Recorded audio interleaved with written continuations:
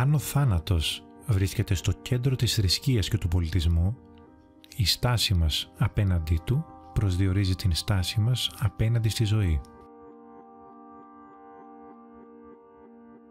Ο Ήρβιν Γιάλο εξάλλου έλεγε πως ενώ ο ίδιος ο θάνατος σε αφανίζει, η ιδέα του θανάτου μπορεί να σου σώσει την ζωή, εννοώντας πως η επεξεργασία και η επίγνωση του γεγονότος της θνητότητάς σου μπορεί να νοηματοδοτήσει θετικά την ζωή σου.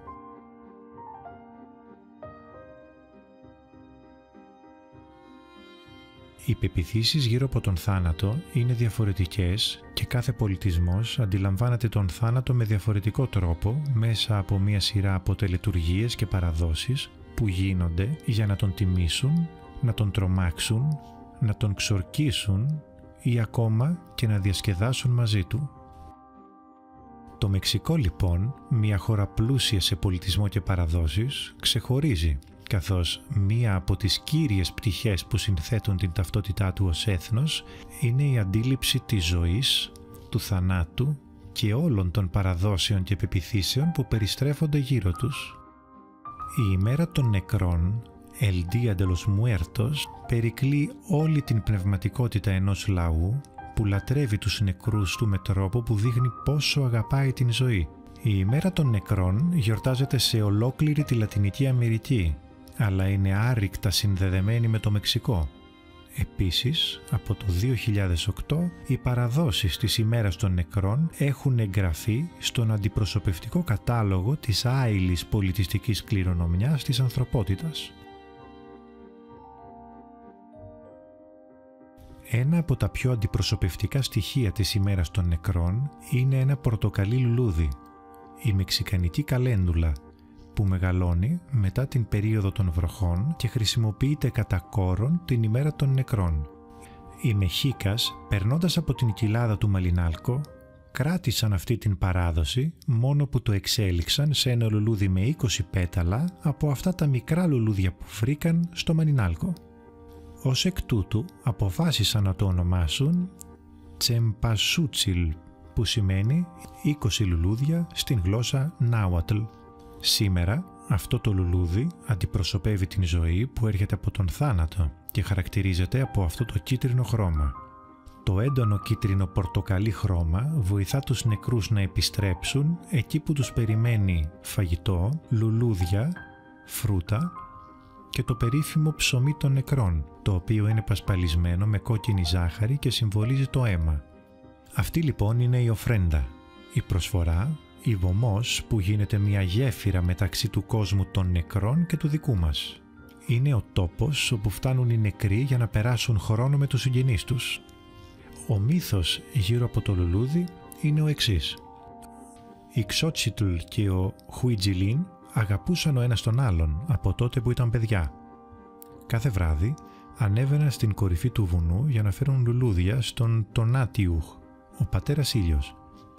Εκεί ορκίστηκαν να αγαπά ο ένας τον άλλον πέρα από το χρόνο, πέρα από την απόσταση και πέρα από τον θάνατο. Όμως, μία μέρα ξεκίνησε πόλεμος και οι ερωτευμένοι χώρισαν. Σύντομα ήρθε η είδηση ότι ο Χουιτζιλίν είχε πεθάνει στον πόλεμο. Η κοπέλα τότε ανέβηκε στο βουνό και ζήτησε από τον πατέρα ήλιο να την ενώσει για πάντα με την αγάπη της. Ο ήλιος τότε άγγιξε το κορίτσι με μία από τις ακτίνες του και αυτή μετατράπηκε σε ένα λουλούδι με τόσο έντονα χρώματα όπως ο ίδιος ο ήλιος. Στη συνέχεια ήρθε ο Χουιτζιλίν σαν κολυμπρί και με το που κάθισε στο κέντρο του λουλουδιού αυτό άνοιξε σε 20 πέταλα. Από εδώ λοιπόν γεννήθηκε ο θρύλος για το λουλούδι Σέμπα Σότιλ, το λουλούδι των νεκρών. Άλλο ένα αντιπροσωπευτικό στοιχείο είναι ο Ξολοιτσκούιντλε, μια μεξικάνικη ράτσα άτριχου σκύλου. Η λέξη αυτή προέρχεται από τη γλώσσα Νάουατλ, Ξολότλ που σημαίνει τέρας, παράξενο, ζωικό και από τον όρο Ιτσκούιντλι που σημαίνει σκύλος. Για τους Αζτέκους αυτό το σκυλί ήταν πολύ ξεχωριστό και σεβαστό επειδή ήταν δώρο από τον θεό Ξολότλ για να καθοδηγήσει τις ψυχές των νεκρών που ταξίδεψαν στο Μικτλάν ή στον κάτω κόσμο. Αυτός είναι και ο σκύλος που βλέπουμε στην ταινία «Κόκο». Όμως, η πιο αντιπροσωπευτική εικόνα της ημέρας των νεκρών είναι η Κατρίνα, που μας υπενθυμίζει με τον πιο ζωντανό τρόπο ότι ο Μεξικανός προσεγγίζει τον θάνατο και τον κάνει μέρος της ζωής του, παίζει και διασκεδάζει μαζί του. Ο Οκτάβιο Παδ δήλωσε κάποτε το εξής «Η λέξη θάνατος δεν προφέρεται στη Νέα Υόρκη, στο Παρίσι ή στο Λονδίνο επειδή καίει τα χείλη. Ο Μεξικανός αντίθετα είναι εξοικειωμένος με τον θάνατο. Αστιεύεται με αυτόν, κοιμάται με αυτόν και επίσης τον γιορτάζει.